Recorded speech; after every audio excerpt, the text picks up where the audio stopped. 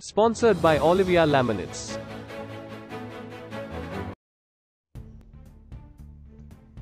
आत्मा कुरु पुलिस ने बाढ़ के पानी में फंसे बुज़ुर्ग दंपत्ति को बचाया भारी बारिश के कारण घरों में चारों ओर पानी भर गया और आत्मकुर मंडल केंद्र घर में एक बुज़ुर्ग दंपत्ति के अकेले होने की सूचना मिलने पर आत्मकुर निरीक्षक अपने कर्मचारियों के साथ गए और बाढ़ के पानी में फंसे बुज़ुर्ग दंपत्ति को ले आए तेलंगाना वरंगल नव भारत समाचार से कैमरामैन महेंद्र के साथ अक्रम की रिपोर्ट।